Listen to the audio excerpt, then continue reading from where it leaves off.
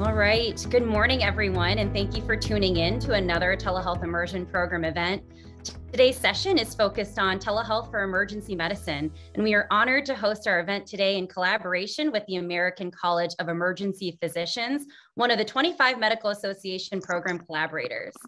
During our 90 minutes together today, we will start off with a presentation from Dr. Aditi Joshi, Chair of the Emergency Telehealth Section at ACEP, who will talk about telehealth as a solution for emergency department challenges, and at a high level, give an overview of teleemergency care. We then have two speakers joining us, Dr. Kelly Roan from Avel eCare and Dr. Mohsen Saeedinejad from Ronald Reagan UCLA Medical Center, who will share how they are leveraging telehealth and emergency medicine at each of their respective organizations. After these three brief presentations, we'll then come together for inter an interactive panel discussion where we'll invite you as the audience to ask questions live. And with that, I'd like to introduce Jeffrey Davis, who will introduce our speakers today. Jeffrey Davis is the Director of Regulatory and External Affairs at the American College of Emergency Physicians. In his role, Jeffrey manages ACEP's formal responses to federal policies and works with federal agencies and other external stakeholders to help advance ACEP's federal affairs agenda. Prior to that, Jeffrey worked in the budget office for the US Department of Health and Human Services for nearly eight years. Jeffrey came to the government as the Presidential Management Fellow, and in his position in the Budget Office, he advised top level officials on major budgetary and policy considerations within Medicare and prepared detailed analyses of Medicare regulations and legislation. Jeffrey has a Master's of Science in Health Policy and Management from the Harvard T.H. Chan School of Public Health and a Bachelor's of Arts degree from Duke University. Thank you, Jeffrey, for making today's session and collaboration possible. I'll turn the floor over to you. Thank you, Bernadette, and thank you so much to the American Medical Association for uh, hosting this event today. We at ACEP are really, really happy to be here and, and, to share some of our experiences in emergency medicine. So without further ado, I'll introduce our first speaker. Dr. Aditi Joshi is an emergency physician and digital health consultant, having worked in telehealth for almost a decade. Beginning at a virtual care startup and moving into an academic medical center as medical director of Thomas Jefferson University's telehealth program. She's the chair of telehealth for the American College of Emergency Physicians, working specifically uh, on how digital technologies will affect the workplace, workforce, education policy, and future practice models in this specialty. Dr. Joshi, thank you so much for being here today, and I'll turn it over to you. Thanks, Jeff. Uh, thank you for that introduction. And I am glad to be here. I want to second what he said. Thank you for inviting us from ACEP to come over and speak to you about emergency medicine and telehealth. As mentioned, I'm the current chair of the telehealth section, and we've really worked to try to look at acute care telehealth for almost a decade. And we've seen it change from a very small amount of engagement um, used in remote areas to the ex exponential growth that we have seen over the last few years. ACEP represents about 30,000 emergency physicians, emergency medicine residents, and medical students.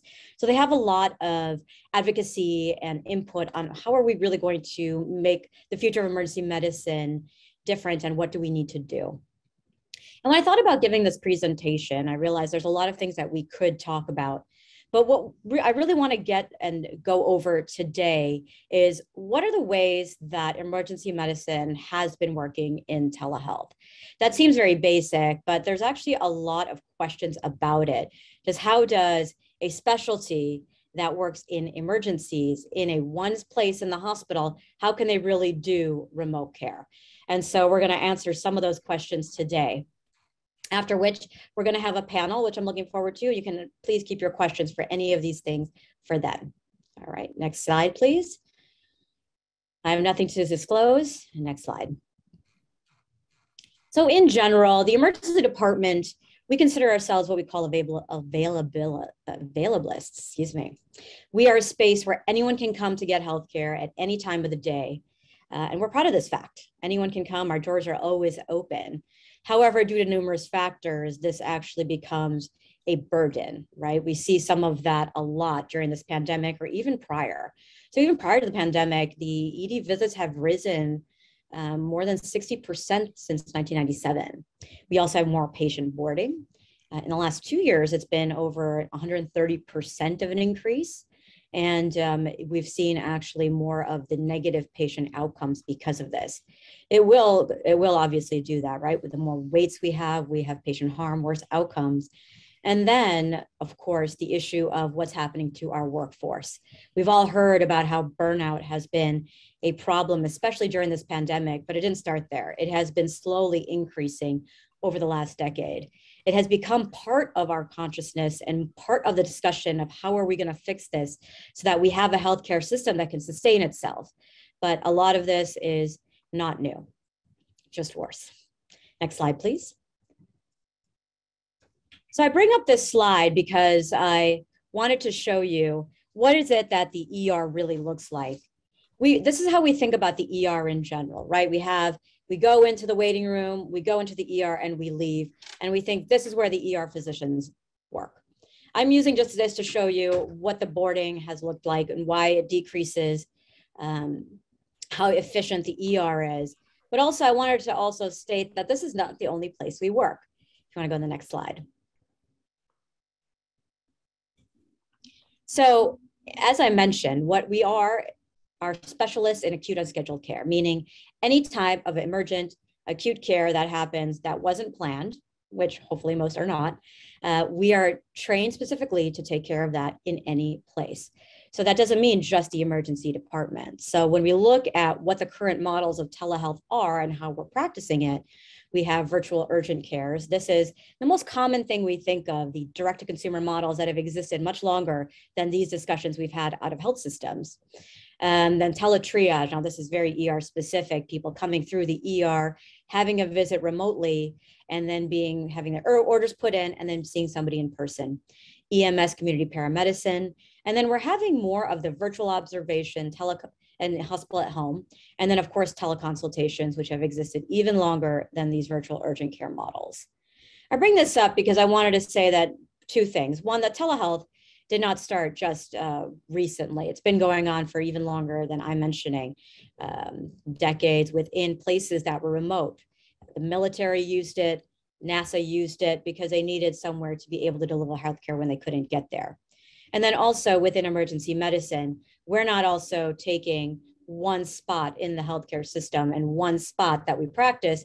We're practicing all over the community because what emergency medicine is, is the bridge between the outside, the community, and the inpatient units in the hospital. That's where we sit. We sit on the, you know, we sit on the first floor. We have EMS coming in. That's who we are. And so because of that, there's a lot of unique ways that we can use telehealth, remote virtual care to practice now and in the future. All right, next slide. All right, so I just brought this up as some definitions of ways that we practice. So telehealth can be defined in a number of different ways. And I won't go through every single one of them, but I want to take a look and see in the ways that even within these definitions, emergency medicine are is practicing it. So in synchronous versus asynchronous. Now, this is one of the most classic ways we define telehealth, right? Is it happening real time on a phone or a video visit, or is it asynchronous and not happening real time? What we think of chatbots and AI. And the answer is yes, we are practicing this. It's much more obvious how we're doing synchronous care, direct patient care, looking at somebody or talking to someone and saying, all right, we're delivering healthcare. But ER physicians are unique in that they are doing asynchronous care because anything that has anything to do with triaging patients, determining, hey, where do they need to go? Can they stay home? Can they, do they need to go to uh, an urgent care, primary care, or do they need to come to us in the emergency department is a form of triage and we are uniquely skilled in that. So it is a myth that we don't do any asynchronous care. And then, as I mentioned, we don't just practice in the ER, we do pre-hospital care, community paramedicine, maybe triaging LTACs, SNFs, um, when we get calls from EMS. Um, telling them what they may need to do, how to treat them. Then, of course, we do hospital care. I mentioned teletriage, uh, inpatient consults, and just taking care of patients within that space. And then post discharge can be, as I mentioned, the hospital at home and the virtual observation units. One thing you may not know is that observation units are, many of them are run by emergency departments. They end up being a, a unit that is between the ER and a full inpatient side. And so it's a natural extension to try to do any of it remotely uh, through an ER uh, practice as well. Specialist consultations is a very old type or classic type if you can call a few decades classic, form of telehealth where we're doing provider to provider consults. People mostly think of telestroke, but remember that even though on one side there are stroke neurologists, the other side of that call from provider provider, many of them are emergency physicians. And so they were the recipient hospitals being able to get that care and um, uh, use the specialist access to take care of their patients. And there are many, many studies talking about how this has improved patient care, decreased um, transfers. Uh, and uh, during the pandemic, it is also being used for in-house consults. Telestroke isn't the only form that's out there, but this is just one that has the longest amount of research. And then lastly, education and training, which is not specific to emergency medicine, but then we do train. We have to train our own medical students, residents. Uh, we can use telehealth to do that.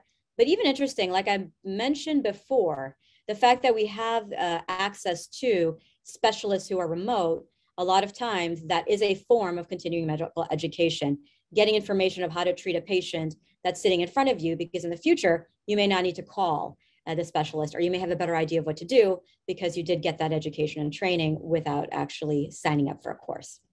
Next slide, please. And I wanted to mention our section task force.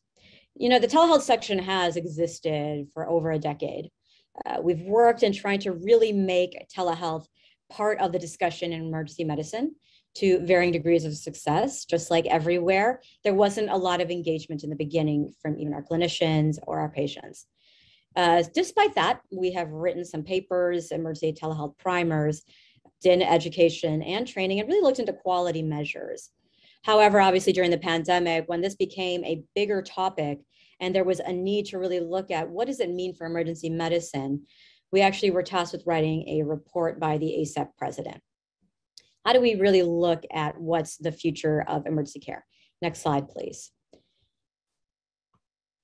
So there are large five buckets to this report, and I want to bring up this report for two reasons. For anybody here who works in emergency medicine and they want information about the kinds of discussions that are important for us to know going forward within our own specialty, there is an access to this within, within our uh, specialty organization.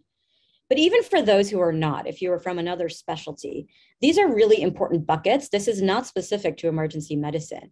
All of these I'm going to go over, but it's why do we think about how are we thinking about our own practices in the future? Um, and anyone like the AMA who speaks and are advocating for physicians really should look at this as well. Uh, these are topics that are not specific to telehealth, of course, but this is something to think of even when we're looking at how telehealth is going to change the future of our uh, of the healthcare workforce. So the first one we looked at is really care models. This is really a global look. How is the care models going to change for emergency medicine? What is it that we practice now? And what are we going to be practicing in the future? So that was really what we looked at. Uh, the diverse ways that is it is it going to change for the positive? What are the barriers for the negative right? So how do we license credential? What is the burden of oversight? There's a lot of questions that happen within that. And so we wanted to make sure that we have discussed that. So in the future when people bring this up we have a basis to say yes we understand this is going to be a barrier. What are we going to do about it so we're not caught 10 years from now not having a plan for it uh, malpractice, of course, is again is a risk, and so some of the things that and the uh, some of these conversations within the care model section have really bled into a number of other committees or other organizations that work on these, because telehealth again is just really a way that we're practicing. It's not its own entity.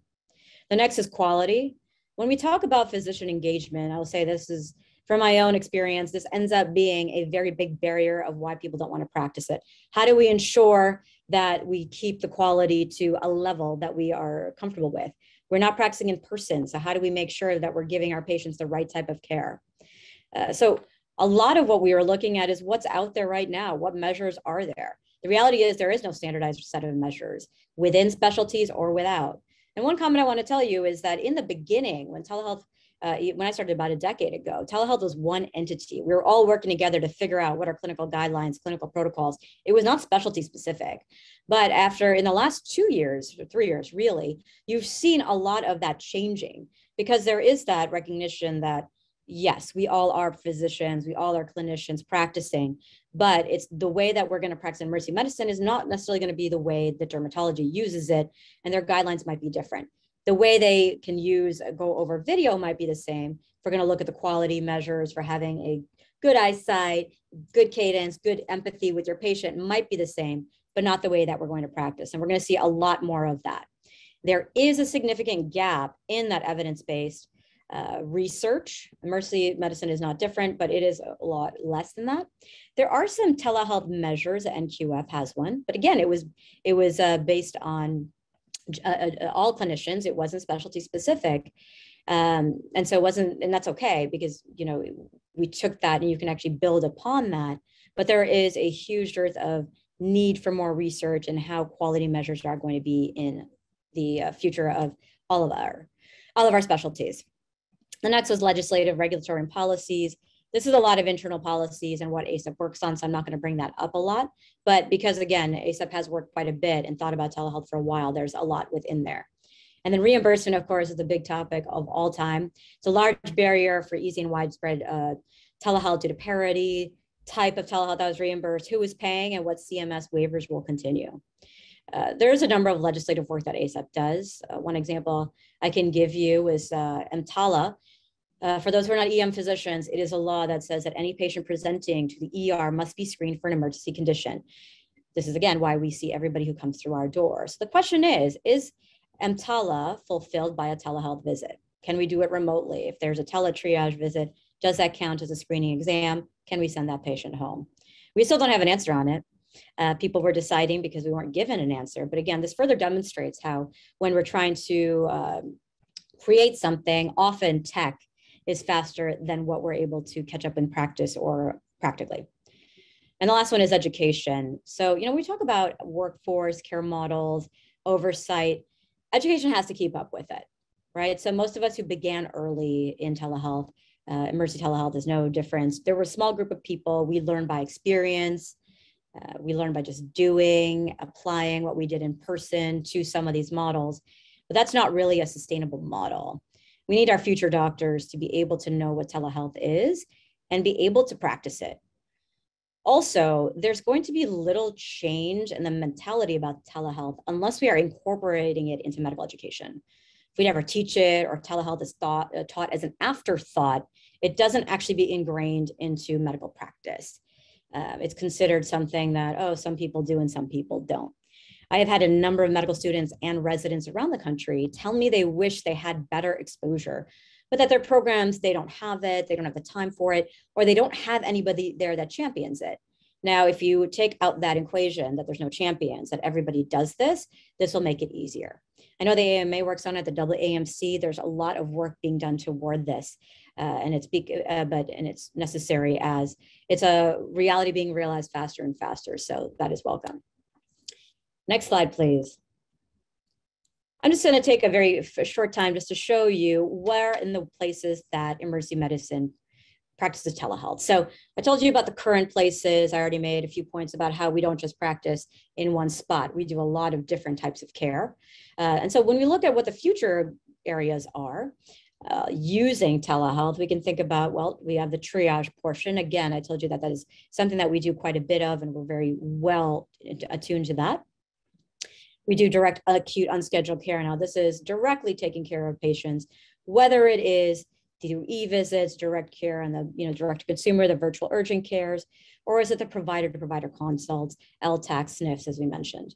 And then obviously the out of ED visits, observation units, post ED, and remote home monitoring and hospital at home. And when we talk about remote home monitoring and hospital at home, they're really just a extension function of telehealth, doing it further in the home with better monitoring and better capabilities. Next slide, please.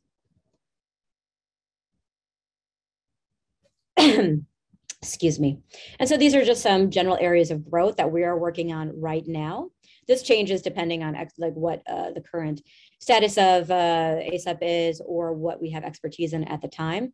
But I will say most of these topics are very common, whether the, uh, the expanded scope of practice, what does that mean for the future? Education, like I mentioned, what are the quality measures, metrics, and research and standardization? This has been there for quite a while. One new growth, though, that I've seen a lot spoken of is equity. I mean, technology in general moves faster than the law, culture, and practice. The reasons for healthcare inequity are systemic and longstanding in an area where we're rushing to catch up. Um, I'm not going to spend a lot of time on that. I believe that we all can think through that. But another thing that we really need to catch up when telehealth is one of those topics. And then last one, next slide, please. And this is just an idea of some of the other places that we work on and whether or not this might be specific. This is not specific to ER again. You know, we look at telehealth and we think about how do we accredit? What are the quality measures? Uh, what are the practice models, like I mentioned, academic affairs, education, and the workforce. Um, you know, when we think about we have to, all groups have to train on this portion. And so hopefully this is not just useful for emergency medicine, but for any specialty that's looking at. Next slide, please. And so I just want to con- uh, conclude saying that emergency medicine has a long history of being involved in telehealth. Uh, when I say we were doing a decade, we, even with a small group of us, we have a lot of experience working with it on all of these topics that I'm talking about. And so if any anybody who wants to work with us, we're always welcoming to try to help or to even learn from anybody else. Talking about the recent expansion, we have a better national discussion and looking forward to working on some of these big topics to try to plan for our specialty of the future and just better integration with other committees and partners. And next slide. Thank you very much. And I'm going to turn it over to our next speaker, and I look forward to your questions during the panel. Thank you, Dr. Joshi, so much. Uh, our next speaker is Dr. Kelly Roan. Dr. Kelly Roan serves as Avel eCare's Vice President of Innovation and Outreach. In this role, she's responsible for physician engagement and retention, program development of telemedicine services, and educating medical professionals on telemedicine and change management.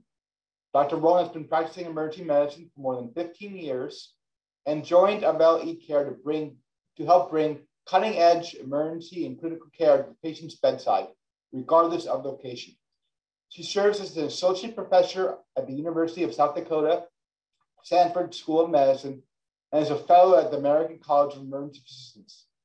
Dr. Roan completed her medical education at the University of South Dakota in Vermillion and her emergency medical training at Health Partners Regions Hospital in St. Paul, Minnesota. Dr. Roan, I'll turn it over to you. Thank you so much.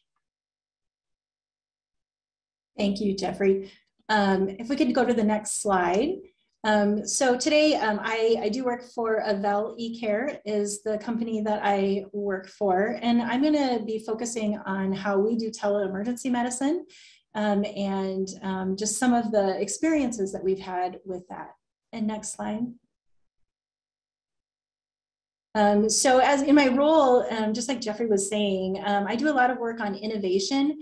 And when we talk about tele-emergency medicine, one of the things that has really helped us in the past is to talk to our partners that we're working with and seeing what their challenges are and looking at how we can incorporate that into our tele-emergency program. And then I do a lot of outreach work um, with uh, rural hospitals as well as programs such as this, where I really talk about tele-emergency and how it can make a difference in our patients' care. Next slide. So just like Dr. Joshi was saying, there are a lot of challenges that we have, and I'm really going to focus on rural um, rural America in my talk because that's really the lion's share of what we do here um, at eCare. Um, and we know that 120 hospitals have closed in the past 10 years, and 31 states have seen at least one rural hospital shut down. And I think it's important to note that when a rural hospital shuts down, um, in most communities, that is the largest employer in their community. And what happens then are those employees leave that community and the second largest employer in most rural communities is the school system. And so when they leave, they take their children out, and this also affects the community. So it's a huge economic problem. So it's not just the healthcare, but it's also um, really a community problem when any hospital shuts down. And then 49% of community hospitals reported an operating margin of less than 2%. So they really struggle to make choices of how they're going to improve their care and how they're going to uh, recruit and retain good staff in their areas, which has been really difficult, um, particularly over the last year when nursing has been difficult in large centers. Um, we've heard from our rural partners that they're, you know, having to spend uh, immense amount of their margin on locums nursing um, because many of their nurses have become travelers. Next slide. And just like Dr. Joshi was saying, um, over the past 10 years, ED visits are up almost 25%. And the average time spent waiting in an ED before seeing a physician or an advanced practice provider is 24 minutes. But if you look at rural hospitals, it's actually quite a bit more than that. Um, and the reason for that is in many of these smaller hospitals, if you're there after hours, um, that provider, whether it's a physician or an advanced practice provider, is oftentimes at home and they're called in. And so the nurses are, are really managing those patients until that um, provider comes into the emergency department. And that's something I think that um, people don't always realize in um, smaller communities, but 20% of our population in the United States live and work in rural communities. And again, there's shortages um, in staffing and telehealth has really been, in our experience, um, a really great way to help not only with provider staffing because people are more willing to go to a rural community when they have this backup, but also on the nursing side um, because it's pretty intimidating to be the only nurse in an emergency department at night when your provider isn't even in house, it's, especially as a new, a new nurse. And next slide. And again, burnout is a huge issue in emergency medicine. We're right back up at the top um, this year again. So 65% um, of us believe that it's a serious problem. Um, and when you're isolated and you're the only provider um, within 100 miles, that can feel like a pretty lonely condition. I mean, I think um, many of us who work in emergency departments and work single coverage um, can feel that. Um, but I think it's even worse when you are um, far away from any other physician help that might be helping you with complex patients. And next slide. So our guiding principles have always been to improve access to care and improve our care and outcomes, as well as lower costs. And part of that is really helping to recruit and retain um, that workforce sustainability in rural hospitals um, by lowering their cost of locums care so that they can recruit and retain people to live and work in their communities. And go ahead and next slide. So this is a little bit of how it works in, um, in our center. So we have a virtual hospital. We are located in Sioux Falls, South Dakota. So that's where our, our hub is. And we work on a hub and spoke model. So what that means is we have um, a virtual emergency department, and you can see that in the top slide. And so I'm working with a nurse. One of the things I think that makes us a little bit different is that we do work nurse physician in our um, program. Um, so we're not only supporting the provider staff on the other end of the hospital, on the other end of the camera, excuse me, um, but we're also helping the nursing staff um, because in many cases, um, we have seen a lot of these complex cases on our bedside um, care and we see a lot of really, really sick patients. But some of these hospitals may only do one or two cardiac arrests a year with that provider. And nurses may only um, set up complex drips um, here and there. So we're there to really check those to make sure that they're always done um, in a manner that is perfectly correct. And so we can always check all of those dosages. And on the bottom screen, you can see um, how it looks on the outside hospitals site. So that is um, uh, the spoke, um, like a bicycle. And so we reach out to multiple hospitals um, and it allows one emergency physician and one nurse to cover multiple hospitals um, as needed. And the way we've done this, you can see, I don't know if you can see that well, but there's a little red box on the wall and that's how um, they would uh, activate the system. There's one button and it's been made that way just to act like a code button. Um, and then we are hardwired into their um, emergency department. So once they hit that button, they just say um, which room they're in, and we are able to pull up the video, and that's typically within about 20 to 30 seconds. Um, from there, I have a 20x zoom Polycom uh, camera on the top of that TV that's hardwired there. And so I can move um, with my remote control, I move the camera. They never have to touch anything except for that one button. And we did that because we want to make sure that whatever they're doing, if that patient comes in and they are doing CPR or they have to do an airway or a patient is seizing, we don't want them to go and have to grab a cart and set it up and log in. That's never going to happen. And so it had to be something from our emergency department where it was really um, reliable, but also easy for them to access. And the other thing we did is we actually put the microphone right above the patient's feet. Um, and that took some trial and error for us to figure that out. Um, we initially, when we started this in 2008, um, put it above the patient's head. Um, but there's a lot of really loud things around the patient's head, like oxygen and suction and um, uh, potentially patients yelling and things like that that just happen in emergency departments. And so we found that if we put it over the patient's feet, um, we could still hear everything that was in the room. Um, but if I'm talking someone through their first time chest tube or um, through an airway, um, they can stay right exactly by the patient's bedside. And we want them to be able to stay there and take care of the patient. We've also been able to um, really work on airway. It's certainly the single most scary thing that we do over the camera. And um, frankly, some of the people that uh, we work with amazing people on the other side of the camera, but we do work with people who haven't had a lot of airway experience. Um, and so through the video laryngoscopes, um, we are able to actually just put a cord and um, hook up so that in my um, large screen there, I can see exactly what they're seeing in the airway. So, um, you know, when I trained, we didn't have video laryngoscopy. And so um, my attendings would always say, Tell me what you see. And so I always felt a little bit comfortable with that, but certainly a picture is worth a thousand words. And so um, I can see if um, all I'm seeing is pink mucosa that um, they're deep and I just need them to pull back. And then I can go through what the landmarks are and help them to adequately get that airway uh, established.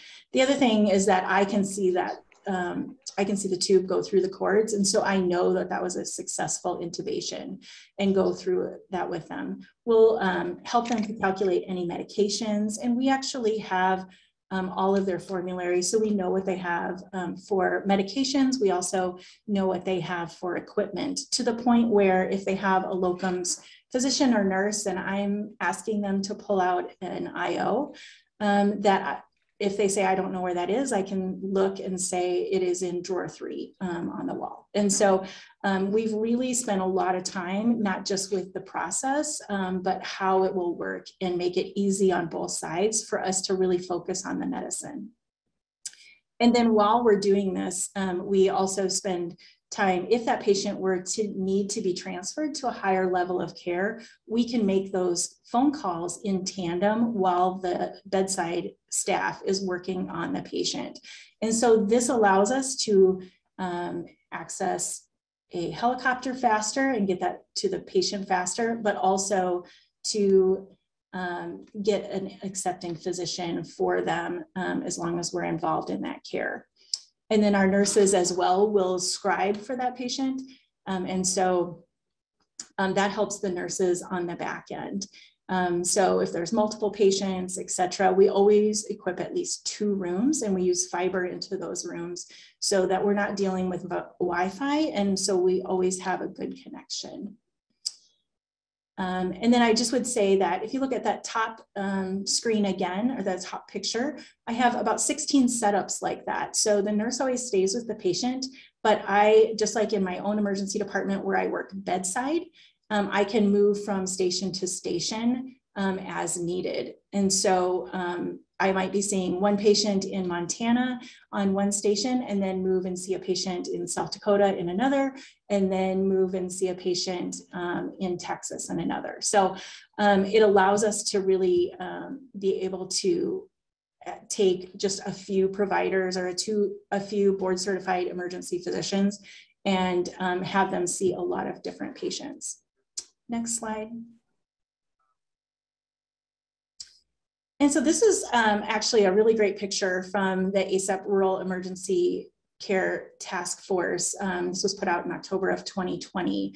And it's the emergency physician density per 100,000 population by county.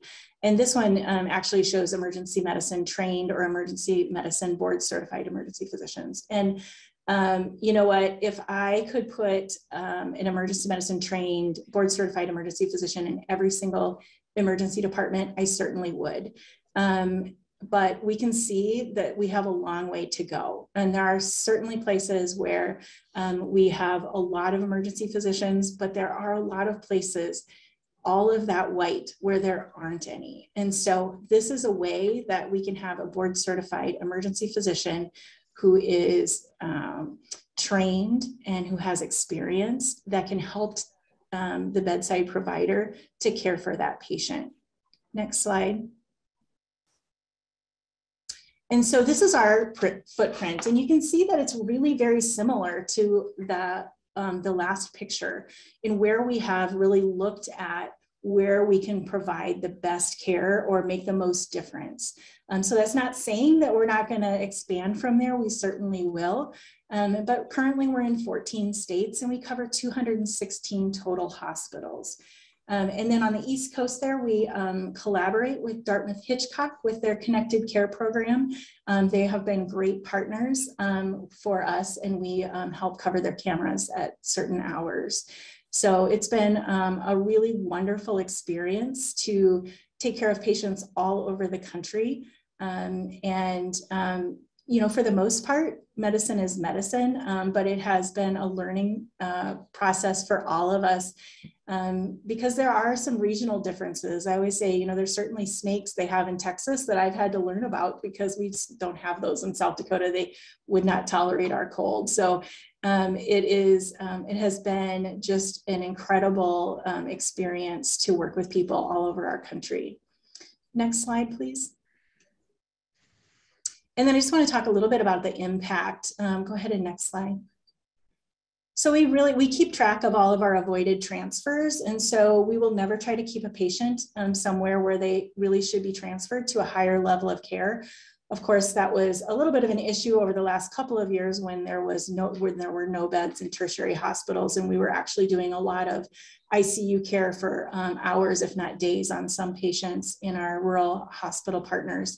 Um, but we do keep track and oftentimes we can help with definitive care and keep that patient actually send them home. Um, maybe it's a case of SVT that we help them to convert or um, helping them to uh, do a reduction on a shoulder dislocation and then that patient doesn't have to be transferred. So sometimes it's you know really bread and butter emergency medicine that we're doing. Um, we also have other programs that I think help with this. Um, many of our hospitals also have our e-hospitalist program. And so with those two together, um, we're able to offer them also a um, board certified internist who has hospitalist experience to see if that patient could be kept locally. And this does a couple of things. It certainly um, is uh, patients like to be um, closer to home when that makes sense. Um, but it also does increase their average daily census and helps with the financials of that hospital. And then our patient encounters, we see about 1,500 patients a month currently through our ER program, and then another 300 to 400 through our behavioral health assessments um, which we have um, psychiatric nurses that help with behavioral health assessments. And then if that patient needs inpatient treatment, they'll call up to six places to try to get them placed, um, which takes a huge burden off of the emergency um, department staff. Next slide. Um, this is just some of the things that we see. Cardiac and chest pain is certainly by far our our, our largest. I read a lot of EKGs all day long. I can see an EKG on the back wall um, as easy as I can um, if it's just right in front of me. So um, it is um, pretty easy for us to do that. We see trauma every day, um, stroke every day. Um, we see currently we're seeing about three cardiac arrests every day. We will help with timing. It's time to do another pulse check. we'll watch the monitor. Um, and um, help them through all of those algorithms um, etc. In um, the month of January, we did 103 cardiac arrests. So that doesn't count all of the emergency airways and critical patients that we were seeing in January um, um, in our area in the middle of um, the country. But certainly we've seen um, an increase in the critical care that we've done over the last two years of the pandemic. And then all the way down to OBGYN, um, I always like to share that I have now delivered more babies um, virtually than I have on camera. It's the, probably the second scariest thing that I do because these are all hospitals that don't um, do OB on purpose. And um, many of the patients have not had prenatal care. And so you're not really sure how far along these babies are. So um, they are uh, fun, but um, sometimes very terrifying. We've actually had um, E, undiagnosed E twins before, right up on the Canadian border in North Dakota. So um, you know, in the middle of a snowstorm. So there are certainly challenges um, to this. And next slide. And then I just wanted to share a couple of other quality um, pieces. Um, we uh, prior to doing this kind of work, I had never worked anywhere without a cath lab.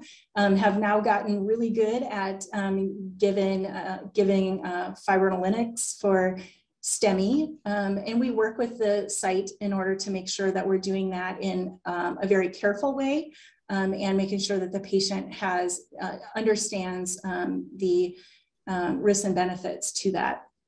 And next slide. And so, you know, we know our benchmark for that is 30 minutes. Um, one of the things that's really difficult in rural hospitals is that after hours, radiology is at home. So again, that can take 25 to 30 minutes. And it really is helpful to have that chest x-ray um, to review, um, particularly if that patient has any symptoms that you think may indicate a dissection. Um, and so um, we do meet that benchmark um, as, as much as we can, um, but we always are working with our partners to tell them, call us early and call in radiology early so we can get those um, chest x-rays done and we can um, help them to make sure that they're giving the right doses of fibrinolytics. And then next slide. But what we found is that um, we are given the median time um, that we're giving um, lytics is 33 minutes, but that's approximately 15 minutes sooner um, than the average rural hospital without our support. And next slide. And the same goes for stroke. Um, you know, we want to get it in with that 60 minute, um, and we don't always make the mark. Again, this is because radiology is at home. And so they come in and they have to warm up the CT scanner. So it's much different than I, I work in a level two trauma center for my bedside time. And, you know, we can clear the scanner and get things moving and um, have a stroke team. And, you know, these areas, you don't have a stroke team. It's you know, one provider and two nurses, and that's all that's there. So um, uh, we're calling everybody else in on these um, patients. Um, but we are making a huge difference, and we've seen these numbers improve as time has gone on, and we've really made it um, uh, one of our huge um, quality measures. The next slide. Um, this is our president and CEO of Avera Health, which is um, the health system that our company was born to. Um, and we recently became our own company, but um, work very closely with them still. And um, just a nice quote where he's saying the three primary areas of focus for their telemedicine investment has been quality, access, and workforce. And in a largely rural footprint, all three are critical, but not always a priority. And telemedicine changed that, and it became apparent during COVID.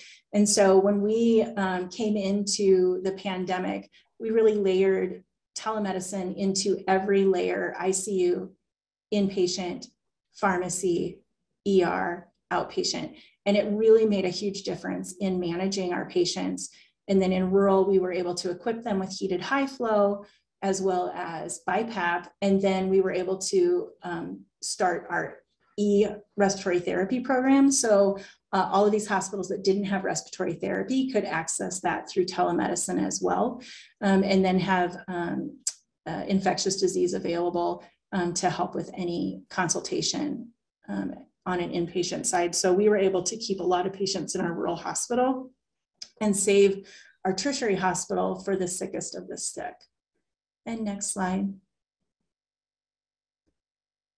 So telemedicine, really, when you're looking at it, you want to see, you know, how can I make lives easier? And, you know, this picture is probably more similar to what I see in my tertiary hospital when I work there, um, where you have multiple people coming in and working on one patient. But remember that um, in our case, most of the time in rural hospitals, again, it's one provider and two nurses um, doing the same work that all of these people would be doing. And so how do you help them to share that load and to um, bring them more expertise, more hands, and, and more people just double checking things to make sure we're always doing things perfectly correct. And next slide.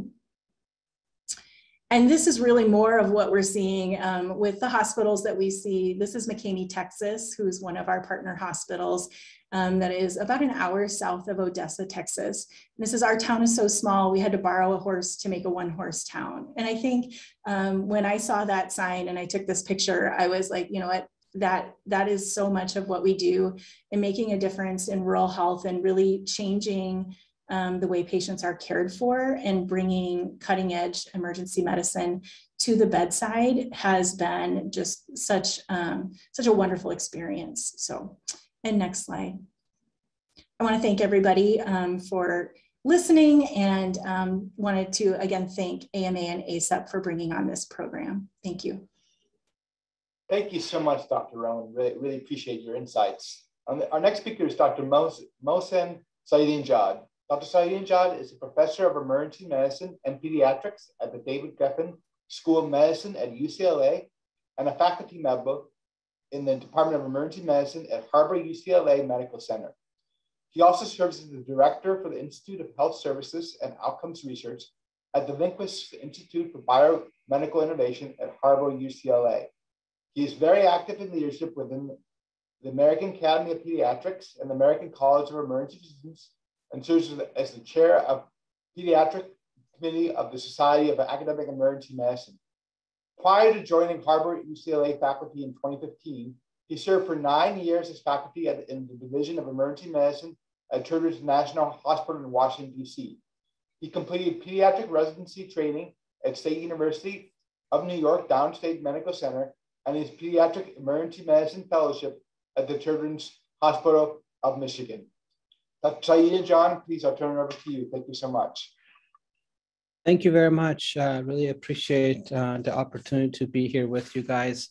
Um, I am going to represent the other extreme of the rural hospital being centered in a major metropolitan um, area of Los Angeles, uh, where the county of Los Angeles itself has um, over 10 million patients in it and the ability to provide um, telehealth services is going to be um, very interestingly different from what you guys have heard, but I will present some of the same considerations and challenges that you heard from our other panelists. I want to see if my slides advance for me.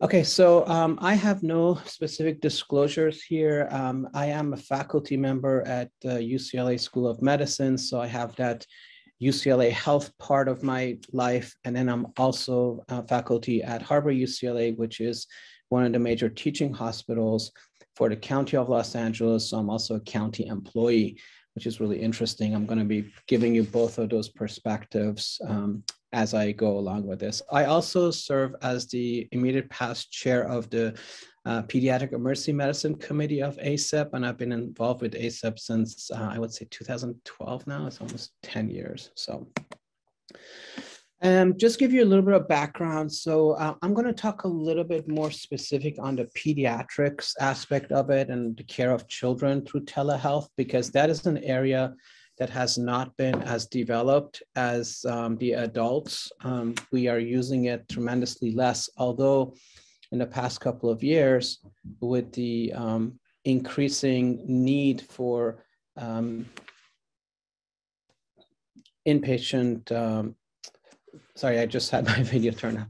Um, so increased need for having um, patients be seen uh, despite the limitations with travel and all of this uh, stay-at-home orders, all the children needed their you know, normal routine care, their vaccinations. So there has been a significant need for increasing some form of telehealth services. So with that, um, there's been a tremendous acceleration of the use of telehealth um, uh, during the COVID pandemic. I'm going to talk a little bit about the challenges involving telehealth. And again, children um, telehealth services um, have the same challenges as adults do. A lot of the challenges are at least the perception that setting up a telehealth program is extremely expensive and complicated. A, lot of the providers feel like the technology might be too overwhelming for them. Um, as also mentioned before, how do we bill for these services? Do we have the right codes? Will Medicare pay for these services? Um, how do we maintain confidentiality of telehealth visits? Where do we um, store video visit recordings? How will they become part of the electronic health record? And so on. These are some of the challenges that are uh, continuing to um, affect our ability to um, use telehealth services. But we do know there's plenty of evidence out there that telehealth is extremely valuable and it's a great addition to in-person visits for a variety of different medical problems that affect children and their families. This was a um, talk that um, I saw um, later turn into a manuscript. It was a really good way of looking at some of the challenges that are at least perceived by pediatricians who are looking at providing telehealth services. And it looks like the most important consideration really is that payment and reimbursement. How do I get paid for doing a telehealth visit when I could be spending my time providing an in-person visit where I know all the billing codes and I know how to get uh, proper compensation for. Um, the other part of it that people are concerned with is the cost of setting up equipment, um, finding out the right vendor, who would be reliable, um, cost efficient. And least important were issues such as I don't have good internet access or patients don't like the use of um, telehealth services. They prefer to have inpatient, although those are a part of the considerations as well. So there is in emergency medicine at least um, there are situations where you absolutely need to have an in-person visit it'll be very hard to press on a belly and try to rule out appendicitis um, using a person at a remote site. It is possible but it's not one of those use cases or actually performing the appendectomy itself. Those those are some certain situations where you want to have in-person visits. Uh, we did hear just a little bit about rural areas and some of the challenges in the rural areas is that you know being able to connect to a rural site um, might not be so easy sometimes because the internet connection speeds and ability to stream videos might be affected. So this would be specifically affecting those areas. The most important thing is the pediatric specialists. We just don't have a ton of pediatric specialists available to go around. And to find a pediatric specialist that is able to um, involve in telehealth is going to be um, a little bit of a challenge. And the pediatricians who work in more urban areas and bigger cities, um, they don't probably have the bandwidth to also perform telehealth services. These are all perceptions, not necessarily reality. We talk a little bit about documentation and privacy. Specifically in children, this affects those group of children who are minors, who are of age of assent, who may have conditions um, such as pregnancy status, um, substance use, or um, um, situations where mental health is affecting them, that some of that information needs to be kept private and confidential. And if the parent or a caregiver has access to that records, this will be an area that um, can provide some, some challenges. So being able to document, keep the security and privacy and ownership of the records is important as well. Uh, licensing and credentialing was spoken about before. The big issue is we don't really have great uh, rules and protocols in place of what would be the minimum requirement for somebody to provide telehealth service within their specialty, um, outside of their jurisdiction, interstate um, telehealth services, coverage for liability insurance. Some of these issues need to be resolved before telehealth services can be established between two remote sites. Um, in terms of family and patient experience, this is a matter of education, letting people know that these services actually do provide great value. And when people are involved with telehealth services, uh, the evidence suggests that families and children really uh, find experience to be positive and in many ways superior to having to go through the pain of actually showing up at a in-person visit. Sometimes, you know, in a place like LA, you may have to fight the traffic, um, especially if you're using public transportation system. Um, to and from is a challenge that could easily be avoided with a, with a telehealth visit. So I want to talk a little bit about some of our local area um, solutions related to telehealth. Uh, Kaiser Permanente, which is a very uh, major uh, provider of healthcare in Southern California, has a really nice model for how they optimize the use of telehealth and how to reduce their uh, expenses and costs. They do have a lot of screening that can be done using video visit or phone visits, and that actually helps patients get triaged into what sort of need they have. They actually decide whether this patient actually needs to come in for an inpatient visit or can be managed with a video visit, a telehealth visit. And um, this is something that is handled through an intake form.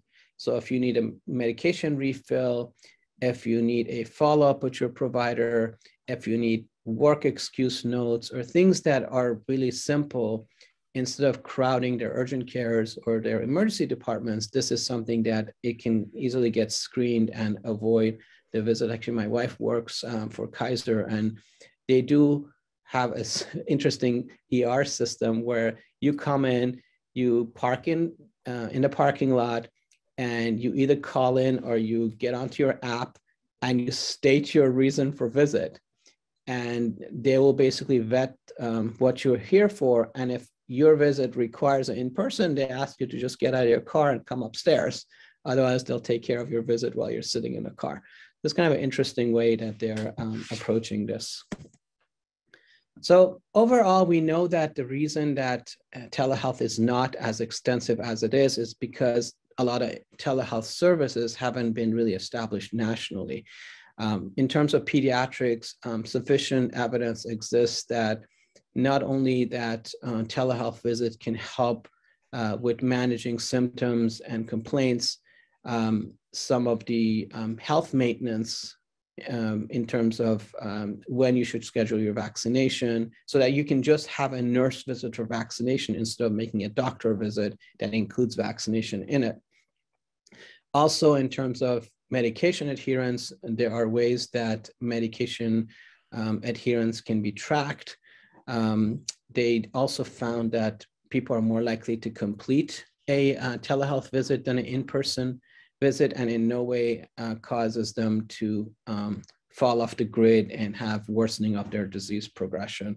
So those are all some of the things that we have also experienced in our own system. So I will tell you that the major element of telehealth for us here at UCLA Health is the patient portal. And um, up, up to almost 50% of our patients within the UCLA Health system have been enrolled in the portal and about two thirds of them are actively engaged with the portal. So when they have lab results, they actually go themselves and check um, their lab results. They communicate with their physician about um, questions they have, about visits that they want to have. So for UCLA Health, we're doing pretty well. But uh, I'll tell you that LA County um, Department of Health Services on that side, we're not doing so well in terms of our patient um, portal. So um, this was also mentioned in the grid that Dr. Roan showed earlier about um, where the specialists are. We have the same issue uh, related to pediatric emergency physicians And as you would expect, the majority of them are in tertiary care centers um, who can afford and feel like they need that specialty service. So on the other side of this, we also know that more than 80% of all acutely ill and injured children present to a non-children hospital, a non-pediatric medical center, a place where they actually aren't comfortable taking care of kids. Uh, some places um, have a pediatric volume of less than 10 per day. So people, when a, a sick child comes, they feel really uncomfortable because they don't have practice. They uh, feel that um, they don't have the resources they need. They don't even know where their equipment are. We are um, doing a project here in LA County um, related to the LA County Pediatric Readiness Project, where we went out and did site visit to 24 of our what we call non-EDAP. EDAP stands for Emergency Department Approved for Pediatrics. So these are non-approved pediatric emergency departments. And uh, we basically did mock codes and have their providers do the mock codes and see um, you know what their comfort level was and how they did the management and then we provide them a gap analysis at the end and we found that while generally knowledge base is there but because you don't practice it the knowledge to practice part was hard and they were struggling with the timing of um, action items that they need to perform so this basically suggested to us that it's not enough for us to show up every once every two years or so and do a mock code with them. We do need to have an ongoing relationship with them where we can help with educating them, um, eh, showing them um, what the latest evidence is, um, giving them opportunities to have pediatric cases to work on um, through simulation, through virtual ways. But most importantly, we need to be available to them through telehealth. And this is one of the areas um, that we're working on in LA County. In LA County, we have 73 hospitals and only 13 of them are pediatric medical centers. So even in an urban um, county like Los Angeles, this problem is um, pretty significant to that needs to be overcome. This is just showing you that the pediatric emergency department can be a link to the community um, we talked, um, I think Dr. Roan talked about the, uh, uh, hub and spokes model. So we have our um, pediatric emergency department and academic center serve as a hub that essentially adopts um, another 10 to 15 hospitals around us. And we maintain um, communication with them as the referral site so the primary care providers can communicate with us, the urgent care centers can communicate, all of the community EDs. We also have schools that can um, participate through telehealth, uh, basically sending us a uh, request for a um, patient encounter that can start from school and we can then tell them whether the patient needs to come in or you know something like a allergic reaction and things like that as a proof of concept. So um, pre-hospital is another area. So we actually currently have not 29 different um, pre-hospital agencies in the county of Los Angeles, each having their own system.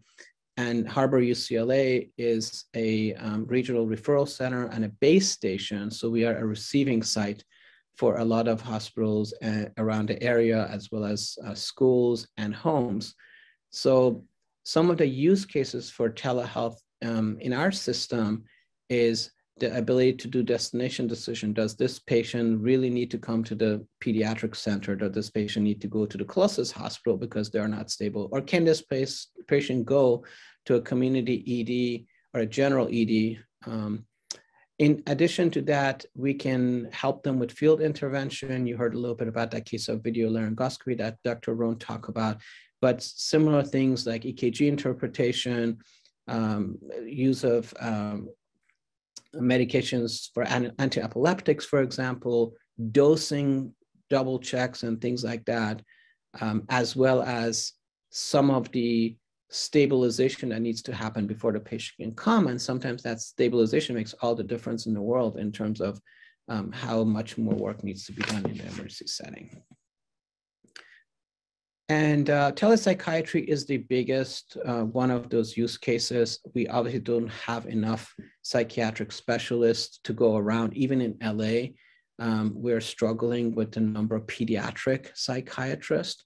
So the ability to be able to screen uh, for suicide risk, uh, screening for uh, patients who require medication for agitation, um, some of the um, issues related to environmental modification, ambulance setups for um, managing and transporting an agitated patient, trying to find out if agitation is due to a medical organic cause or is it simply behavioral. Some of those kind of uh, communications through a psychiatrist uh, would be extremely useful. We don't really have great bandwidth for this. We have a, a um, limited amount of uh, psychiatric um, time where people can do these kind of visits with us, but we're really working on expanding that infrastructure because we simply have no choice. This is, this is going to be an important area. The prevalence of mental health in children is just increasing and skyrocketing. We can't keep up with it. We need to have a way where a specialist at a remote site can provide care to multiple different hospitals. So one psychiatrist may have to respond to um, um, the, a, a, variety of different um, uh, scenarios from different hospitals. This is again showing you that, well, ED visits for psychiatry has decreased, but the telehealth psychiatry is continuing to expand. And um, that is during COVID, the last couple of years, as you can see, the use of telehealth for telepsychiatry has picked up, again, because we have no choice. We have not been able to have in-person um, evaluation of um, patients a lot of times who have psychiatric issues. Just briefly talking about the other portal, which is the LA County uh, Department of Health Services. This is LA Health Portal. Um, uh, LA County DHS um, serves about a million of the 12 million um, patient population in the county of Los Angeles. So it's one of it's actually the biggest healthcare provider for the county of Los Angeles. We also care for others who may not be impaneled to our Department of Health Services because, as mentioned, EMTALA rules suggest that if a patient shows up to our ER, we just have to take care of them regardless of uh, whether they're impaneled to us or not. So the LA Health Portal is a way for us to uh, continue follow up after the ED visit, uh, get their prescriptions through, their school notes. They can follow up on lab results that didn't get um, completed, like a COVID test that when we do it, it takes at least 12 hours for the result to come back. So they can go and check those results um, through the LA Health portal. And again, portal is one of our major ways that we are doing telehealth in our system. Uh, this also allows video visits, um, communication with the providers. This is again uh, the range of uh, services that the LA Health Portal offers um, that patients um, use quite a bit. The lab and imaging, also our own physician notes are visible to patients. So if we have sensitive information we don't want to share, there's a specific template called sensitive note template that's not visible to the patients, but everything is. And we've had to work really hard to train our trainer, trainees, our um, uh, our residents that be careful what you write because patients can see everything you do. And this just a checklist. We already talked about this one. Um, uh, school-based, there was an example of this in Georgia. I talked about how our school system is, we're working on trying to get them connected to us so they can actually um, telehealth into us and see whether a child needs to be brought into the ER or how we can manage them outside of having to come in. And lastly is the telelearning, um, this uh, ability for our re uh, residents and trainees to be able to learn uh, through the platforms like Zoom and Microsoft Teams have been um, incredible. We're also doing courses through Coursera and Open Pediatrics for them. Um, lots of video kind of um, educational webinars and podcasts that are available for them. And um, finally, uh, in, in response to the telehealth um, need um, during COVID, uh, the Center for Medicare Services is also increasing their payments and technology to help patients um, get uh, through these hard times. And just to conclude here, um, uh, pediatric telehealth is expanding and trying to catch up to where adults are. There's uh, many different special use cases, and COVID has accelerated this And um, if you are to provide a telehealth service, you have to think about the cost, the infrastructure, your personnel, and how to make best use of your resources. Remember that dedicated telehealth practitioners is important because I can't be working in the ER seeing patients clinically and answering telehealth calls at the same time. So I know there was a lot to cover in a short period, but um, um, that's the end of my talk. Any questions? Thank you, Saidinejad. Um, and thank you everyone for, for just joining. We'll move into the panel discussion portion now, and I invite um, Dr. Joshi to who will be moderating. Um, if you have any questions, please use the raise hand function.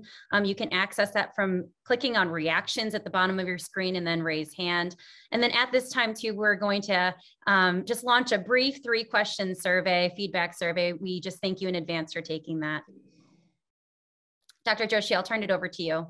Great. Thank you, everybody. Uh, I see that there's a couple of hands raised. So I will take those and I'm going to alternate with some of the submitted questions that we have. So we have a hand raised with Ash Varma, if you want to unmute and ask your question.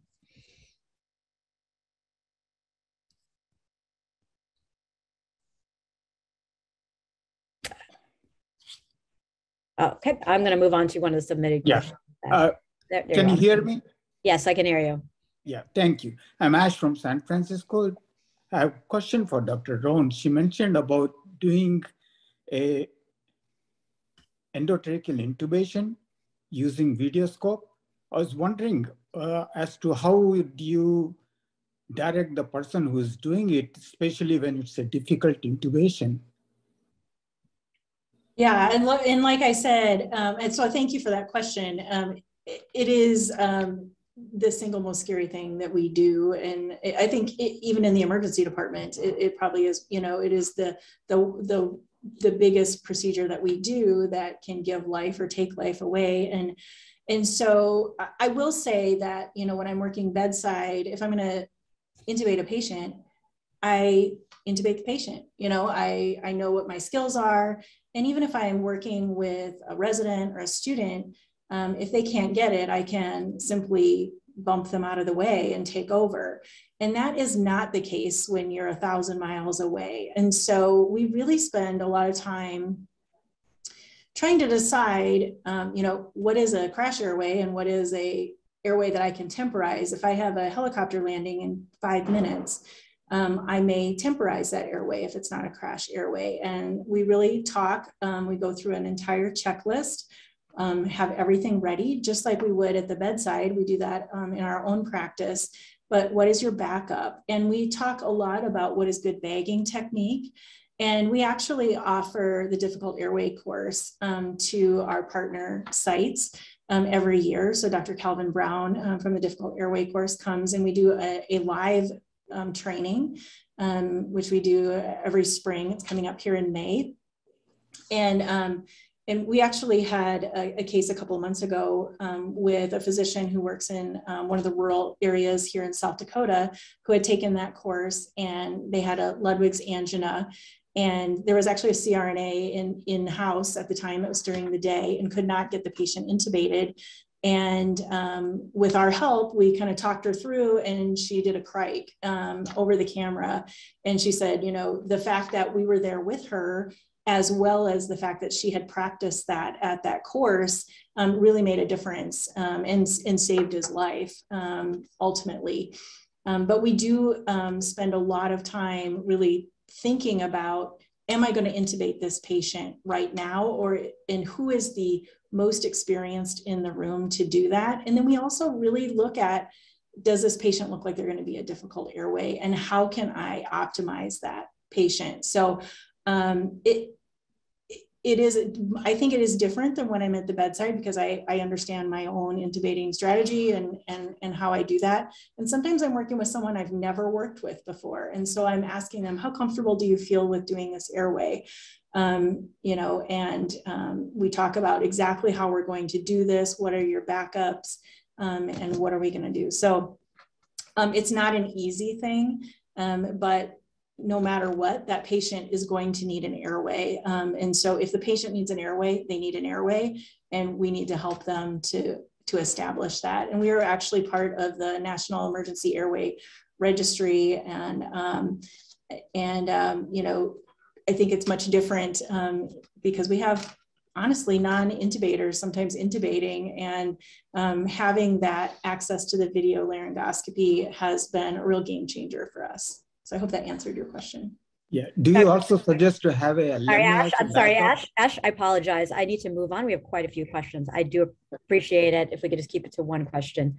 Um, Dr. Roan, I, I uh, thank you for that answer. Um, I wanted to just it just talks specifically about um, how education is really important. And so one of the questions I wanted to ask to both you and Dr. Saeed and Najad is how is it that you're able to make sure that the emergency physicians or all physicians are tapped in and feel trained in this? And is there a way also that you can also make the hospital or medical groups feel comfortable running these programs? And I'll have either of you answer that question. Yeah, I can tell you that um, from our standpoint, again, um, bearing in mind that I am in a major metropolitan area, um, completely different setup than in a rural environment. So the biggest challenges we have is that perception of the challenge in the technology. So um, it's the first area of it would be to show how this can be done, integrated into your current workflow. So if it's part of your workflow, it makes it a lot easier to do. If you have to stop what you're doing and log into a new environment and sit there and wait for it to warm up and things like that, it becomes a little bit of a challenge. The other question is when you log into that area, is the patient already waiting there? All you have to do is click on it and next thing you know, patient appears, or, or does it require many, many different steps? So the first thing I think you need to think about is optimizing that system so it flows well, it feels right, have that kind of practice um, nailed down so you can train it one, one time, and one person can go and train others. So sort of a train the trainer model. So I think the biggest challenge is complexity of this kind of a system. If you can get through the complexity, um, people who are providing the care are not going to worry about the billing and reimbursement piece. Somebody else will. But the people who are providing that uh, telehealth service, A, need to have time. So that's why I was saying that you should have dedicated time and personnel to do this. You can't ask somebody who's working clinically to also stop that and go answer a telehealth call. So one thing is just simplicity. Um, having a process that is um, easily understood, like a checklist that people can follow. And uh, number three is um, a system that doesn't crash, a system that um, is reliable, and then setting expectations of what kind of services can one provide through telehealth. What is possible what is not possible. And ideally if i can log in and i already know my patient has been screened for appropriateness of this video visit that i don't have to have a discussion and find out oh this this patient needs so many other things. I can't do this with telehealth. So i think just having an outline of what it is that the service is going to offer how it's going to work um, so that it makes sense to you and you kind of feel like you can teach it to others. I think that'll be the most critical element of being able to pull off a service like this. Thanks, Dr. Saidinejad. That makes great sense, right? A lot of it is just being able to do that. Uh, the reimbursement part is a large section of it. Um, and uh, we work a lot with Jeff Davis, who has a lot of expertise in there. And he reminded me that actually ACEP was able to advocate for EMTALA to be considered, um, uh, telehealth to be considered an EMTALA telehealth screening exam. So that's really an important clarification I wanted to just mention. I'm going to move on to the next raised hand by Jay Hack. If you want to unmute and ask your question. You're muted again. There. Hello. There you uh, are. Thanks for the, thanks for this great talk. Um, I had a question. I don't know if this is outside of the scope of this um, session, but uh, I'm interested in how telehealth would figure into a medical toxicology uh, consult service. If uh, any of the experts either want to speak knowledgeably about this or send me towards a resource that I can learn more about that, I'd really appreciate it. So I can start that. Um, so I don't know um, of one specifically, but I, I know that um, it's it would be absolutely doable um, if if you have, especially if you have a network um, within your own toxicology area, um, similar to what they were, what Dr. Saidinejad was talking about in UCLA or with our our program, and so we do something similar with burn, and um, so regionally, um, we don't have a burn center in North or South Dakota. And so everybody goes to Minnesota. And we have worked with um, one of the burn programs at Regions Hospital. Um, so in that region, um, we can do a three-way call and bring that burn surgeon right into our emergency department um, and have them see the patient um, through our cameras. So they don't have to have a separate camera system and can just use um, our cameras and help us because it's such a visual diagnosis with burn. Um, but I think that's also true probably in toxicology where you're looking for, um, uh, you know, toxidromes and things like that. So I, I think that um, you could work in a um, hub and spoke type model like that or um, you know possibility is working with your poison control center regionally and seeing if they have interest in that um, there could even probably be some grant um, type monies involved that you could look into. Yeah, I would also add to that exactly the last thing you said, Dr. Ronda. Uh, I would go through um, poison centers because the number for poison center, everybody has it, everybody contacts them. Poison center folks are amazing. Uh, we just love working with them. Sometimes it's a matter of identifying a substance that was ingested uh, or, you know, as you mentioned, toxidromes um, identified as poison plants or something like that. And I think there are apps already that kind of do that, but I don't know how much I trust those. And they're also not free. So I think if there was a structure that worked with the regional poison center, because people already know that I'm going to call the poison center if I have a toxicology question, um, probably would be the best way to do. And it has a national catchment area. Um, to develop telehealth um, for a hospital system again, even in LA, even on my hospital at um, at Harbor UCLA, we have two toxicologists. That's it. And a lot of times they're not on duty. So that's why we also rely heavily on poison centers. And I think that might be the greatest place to start. If we can get them into a video scenario, that would be probably the best way to do this. Thank you for those answers. And I'll just add, those are great, very practical applications that any type of program that you can probably imagine that is hosted out of the ER can be done there. Telehealth, again, is really just a matter of how you're functioning and using these tools rather than it limited by what you're actually practicing uh, doing innovations is a great example of that. So um, I wasn't joking when I said that within ACEP and within our group, there are a number of people who have tried different things. So there's got to be somebody who has. Um, I'm happy to connect with someone reaching out um, to our group if that would be of help. If you want to connect with me. All right. So. thank you for your question. All right. So one question that was in the chat that I will just say, is there a best practices training or certification to gain expertise in doing telehealth in the ED. Uh, I can let anyone else answer. I'm happy to answer that quickly. Yeah, go for it. I was just going to say there are a few certifications out there, but as far as best practices, really what has been created right now is what I mentioned before. It's really based on our experiences and people just doing it over and over. There have been a few ways that a consensus group has created checklists for telehealth, but they're still in the in the process of validation. So really what's out there is that type of certification from experts teaching it.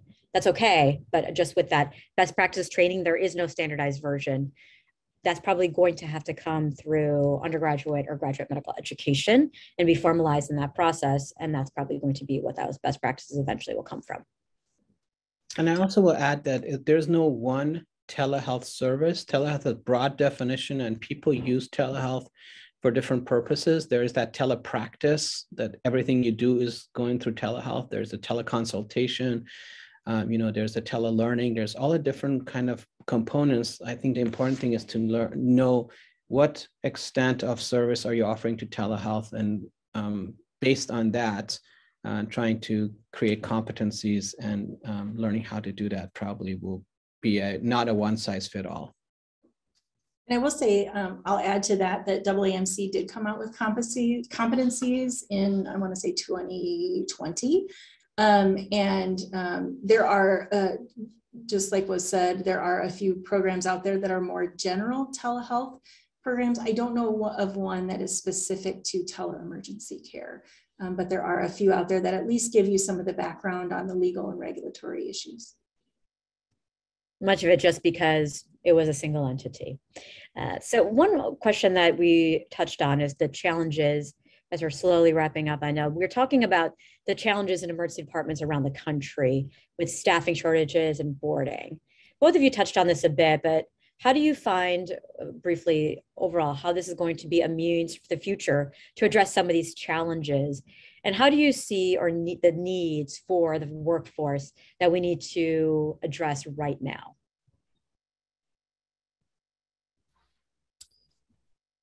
Well, I can start with that. I mean, I think, um, you know, we need to start with our students and, um, you know, really encouraging them to go into areas of need. Um, and we need to use telehealth as um, a tool to help them to do that. Um, I think, you know, getting in front of our students early on in their medical careers um, and nursing students as well, so that they're comfortable with this and then um, looking at areas such as pediatric emergency medicine or rural emergency care, and then making sure that those people are trained um, and, and probably having um, some bar of the training that has to happen for you to work in an emergency department i think is really important. Um, you know it, there really isn't one now.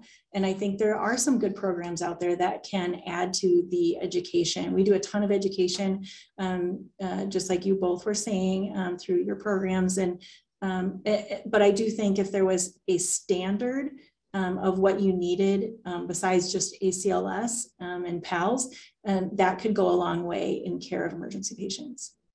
And the other thing I would add is that although I totally agree that um, students and residents and the future generation and looking at this longitudinally um, would be the way to go, but also generating buy-in from the current mid to older folks like myself to see that there is actually a different way to do it than to send a fax over or to pick up the phone and try to reach somebody.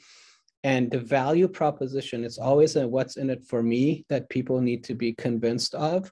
And I think just optimizing, we talked about is optimizing the payment, uh, knowing that you can bill for this. It's not a lost revenue that you, instead of going and seeing a patient and billing, now you're stuck in a screen with some video visit that you can't bill for.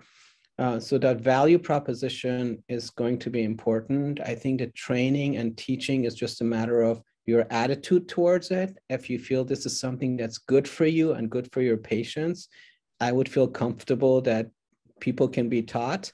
But if it's a drag, people don't want to do it, and they don't feel like it adds any value, then you're going to have all sorts of challenges and people are not going to buy in and it's not going to sustain. So sustainability is another piece by having to continue to show value.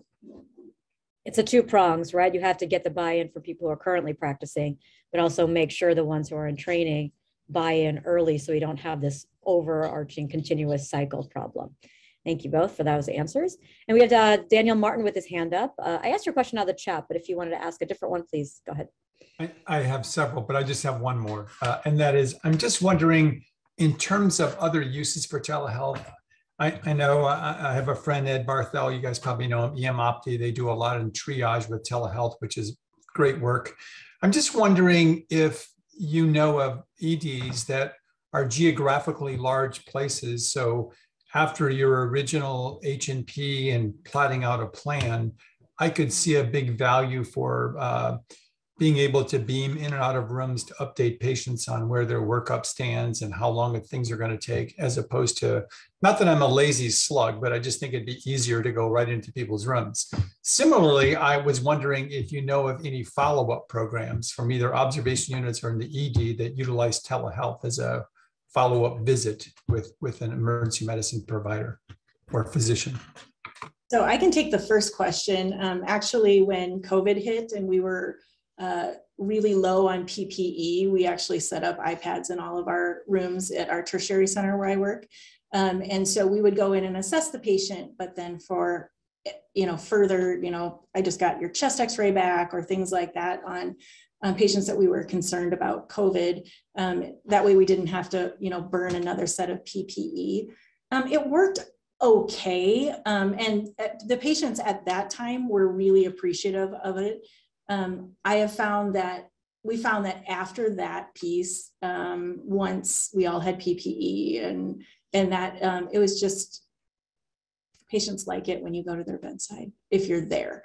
Um, they do really appreciate specialty consultation when it's not available, whether that's through teleneurology or teleemergency medicine.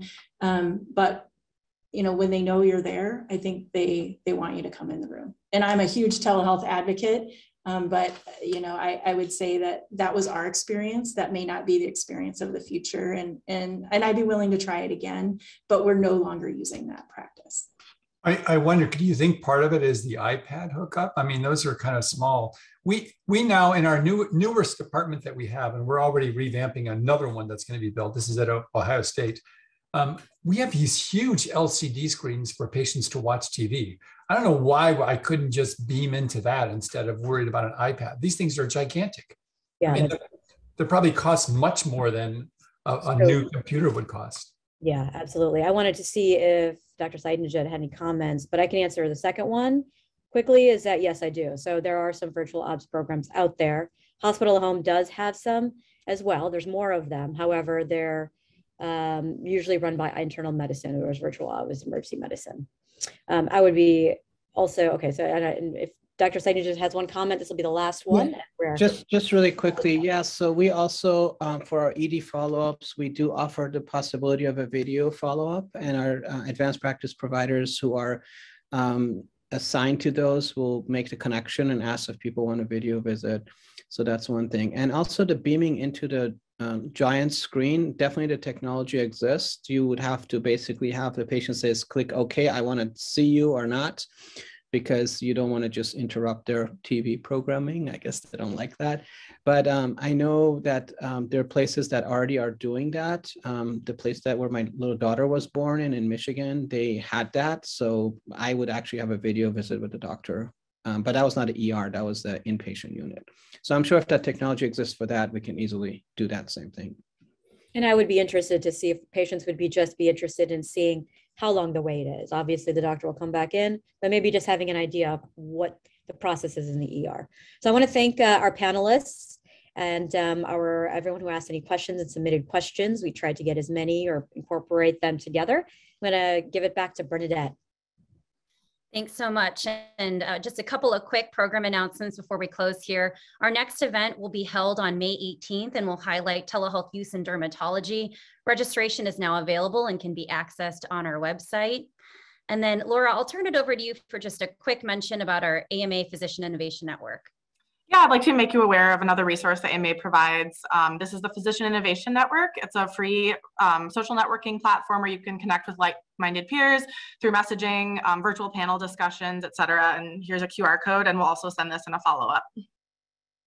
All right, and with that, um, we'll close today's session. Thank you all for attending and thank you to our speakers. If there are any additional questions, I know we weren't able to get to all of them today, uh, feel free to send it our way and we'll coordinate a response back to you. Thank you all so much and have a great day.